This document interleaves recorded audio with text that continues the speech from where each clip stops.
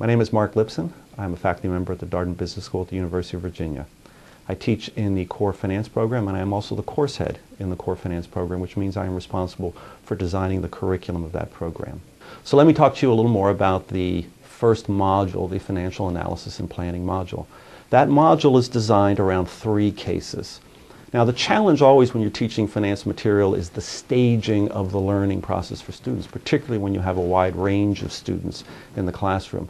So we have to be very careful about the steps. Now these three cases basically move in very important steps.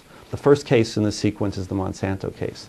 In that case, we ask the students to just forecast the asset side of the firm, the operations, income statement, and the asset side of the balance sheet, including operating liabilities.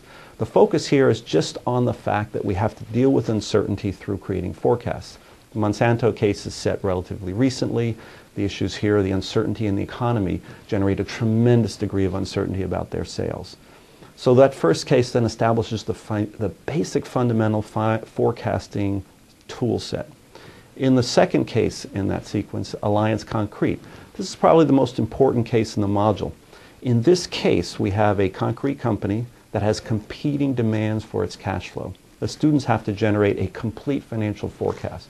This means asset side as well as the liabilities. The themes that are developed in the Alliance Concrete case, again, are the most important themes in this module. The first one is separation. We focus on the fact that the operating decisions are vital and important to the firm doing what it does, and the financing decisions then facilitate that.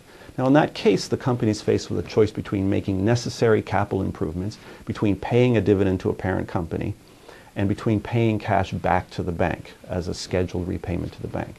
So the challenge the students have to have are faced with in that case is how to choose among these three competing demands on cash. Again, the theme of the separation of operations and financing becomes very important. At the same time, that case allows us to set the stage for cash flow discussions, and in some cases, particularly in our exec ed program, we use that to set up the concept of free cash flow. So that's the second case. The third case then in this takes a multi-period look at the capital raising aspects of a firm. This case is Panera Bread Company. Now until the time, again fairly recently, Panera Bread Company was financed without any debt.